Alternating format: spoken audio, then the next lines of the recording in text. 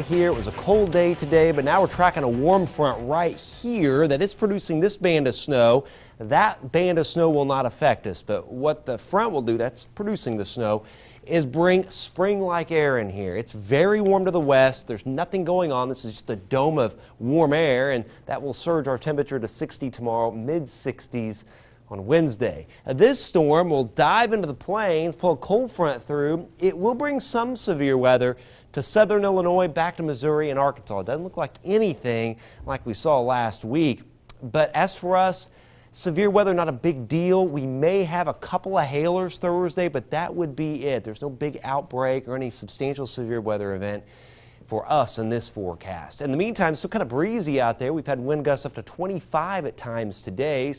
Uh, 36 now Monticello, 37 Lafayette, and 34 Rochester. Day three in the 30s here in March. 35 Crawfordsville and Morocco. We'll drop 29 at 9 and 27 at 11 o'clock. Winds will be out of the south at that point, and that means a rising temperature overnight.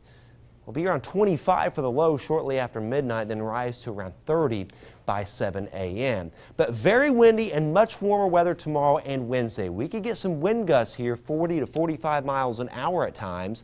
Showers, some thunderstorms Thursday, and then after a brief cool down, the first 70 of the season on the way to start next week. Tonight, low to mid 20s, then rising 25 Lafayette, 23 Logansport, and 25 at Colfax. And tomorrow, this temperature pattern on the map looks kind of odd because uh, it's cooler right in this area because of deeper snowpack. So 54 Winamac and a little cooler in the far south, closer to that deeper snowpack in southern Indiana. So 56 Waveland, but 60 Lafayette and 61 Pine Village and 58 at Denver and right around 59 at Logansport.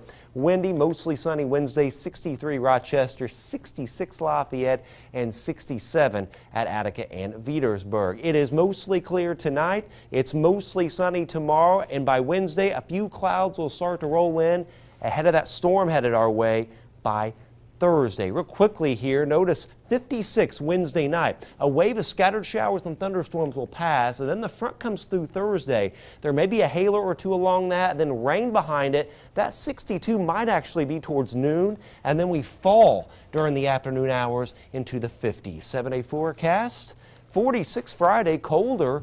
52 sunny Saturday, but then back to 70 on Monday, but some, sh uh, some showers and